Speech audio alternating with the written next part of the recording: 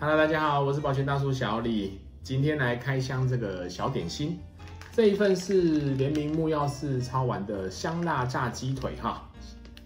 那这一份是他之前星级响宴的橙汁排骨啊，这两个我都没有吃过哈，一次开两个给大家看看喽。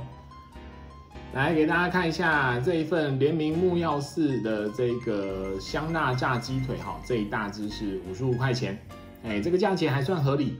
可是这个橙汁排骨呢，哈，那是联名韩碧楼的，那它一份是六十九块，看起来小小颗，大概五颗哦，五颗六颗左右，哎，这个一比较，这个分量上就有差了。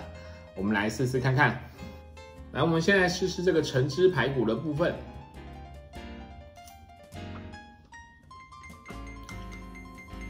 他说是排骨，其实没有骨头。嗯，肉还蛮嫩的，其实并不会说有肉味或什么。橙汁的味道还蛮明显的。哦，它其实是好吃的，只是价钱跟分量上，嗯，大家再参考一下。嗯，不过是真的好吃。嗯，虽然嫩啊，只是稍微干了一点，哎，但是真的不错吃。好，那我们接下来试试这个木曜市超玩的哈联名的这个香辣炸鸡腿，给大家看一下，来。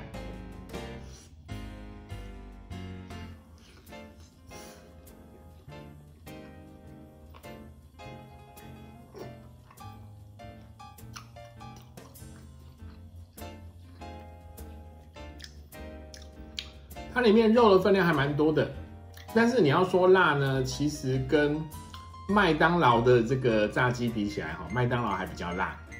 那皮的部分的话，这个毕竟是这个冷冻再加热，哈，所以这个皮已经有点软掉了，其实并不酥，哈，并不酥。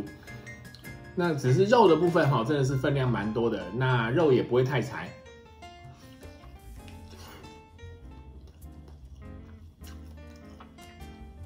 肉质本身是不错，可是你要说辣，真的就只有一点点。